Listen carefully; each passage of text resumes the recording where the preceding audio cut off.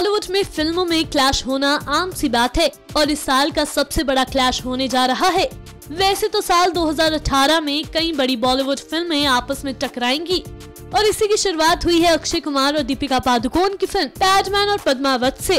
दोनों ही फ़िल्में 25 जनवरी को एक साथ बॉक्स ऑफ़िस पर आएँगी और इसके बाद से ही दोनों फ़िल्मों में से बॉक्स ऑफ़िस पर कौन अपना डंका बजाएगी इस बात पर क्यास लगाए जा रहे हैं।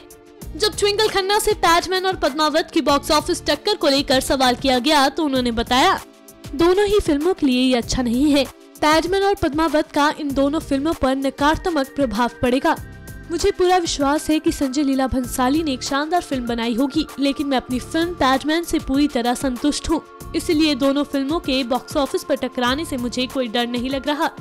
ट्विंकल आगे कहती हैं कि, हमारे पास जो रिलीज़ की तारीख है, हम उससे बहुत खुश हैं।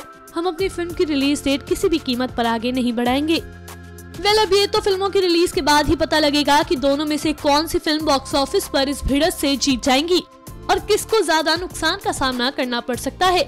वैसे आप इन दोनों फ़िल्मों में से कौन सी फ़िल्म देखने जाएँगे, हमें कमेंट करके ज़रूर बताएँ। और तब तक के लिए देखते रहिए एनएमएफ न्यूज़।